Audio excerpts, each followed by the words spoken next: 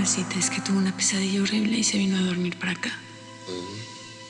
Mejor la llevo a su cuarto, ¿sí? No, no, no. No, amor. Está bonito así, ¿no? Hace mucho tiempo que no estamos estés apachurraditos en una cama. Está bien. Bueno, mejor dicho, los cuatro. Dios